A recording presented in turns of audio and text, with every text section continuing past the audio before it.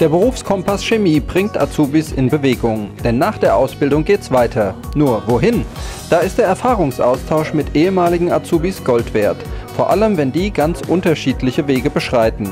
Selina Friedrich studiert BWL. Gleichzeitig arbeitet sie bei ihrem Ausbildungsbetrieb Werner und Merz in Mainz als Industriekauffrau. Ein duales Studium bringt aber nicht nur mehr Wissen, sondern ist immer auch ein Blick über den Tellerrand. Was natürlich auch spannend ist, weil man immer halt auch in den Modulen mal hört, ja, wie, ist es denn so in anderen ähm, Unternehmen, weil das kriegt man ja so im Alltag auch gar nicht mit. Patrick Gerhardt ist Industriemechaniker und macht jetzt seinen Meister beim Reifenhersteller Michelin in Bad Kreuznach. Eines interessiert die Teilnehmer besonders. Wie hält man die Doppelbelastung aus? Es war teilweise schwer, Gerade so die Sommermonate, ja, mit dreimal die Woche Schule, weil wir haben keine Sommerferien gehabt, weil die Zeit verkürzt ist. Und da muss man schon am Riemen reisen. Aber wenn man, wenn man das Ziel vor Augen hat und man weiß, für was man es macht, dann klappt das schon. Zuversicht ist angesagt, denn jede Weiterbildung kostet Zeit und Kraft.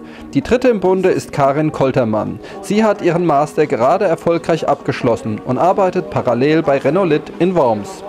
Beruf, Privates, Weiterbildung. Darauf zielen auch die meisten Fragen ab. Wie würden Sie beurteilen, gelingt es Ihnen, diese drei Bereiche, also Privatleben, ähm, das Arbeiten und das Lernen im Studium auszubalancieren? Kurz vor der Klausurphase ist halt der Haushalt mal auf der Strecke geblieben. Also ich glaube, in den vier Wochen, wo Klausurphase ist, da habe ich niemand in die Wohnung gelassen, weil das war dann schon immer schwierig, ja. Wer die Weiterbildung durchhält, kann nachher auch die Lorbeeren einstreichen. Selbstorganisation und Selbstmotivation sind die Schlüssel des Erfolges und ein klares Ziel vor Augen.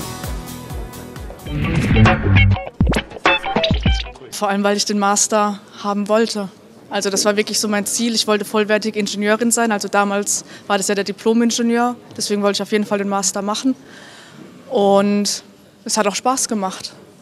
Es war zum einen die Chance, was Neues zu sehen, mich weiter zu orientieren und äh, mich breiter aufzustellen in meiner beruflichen Entwicklung. Nur mit einer Ausbildung kommt man heutzutage leider nicht mehr so weit und deshalb erhoffe ich mir durch das Studium natürlich ähm, bessere Chancen. Wie man sich selbst motiviert, erklärte Reinhold Stritzelberger. In kleinen Alltagsanekdoten und anschaulichen Schaubildern bringt er auf den Punkt, wie man seine Ziele erfolgreich erreicht. So bot der Berufskompass Chemie, eine Partnerveranstaltung des Arbeitgeberverbandes und der Industriegewerkschaft, viele praktische Tipps für die berufliche Weiterbildung. Die, die es tun, die sagen, ich mache das, ich ziehe das durch.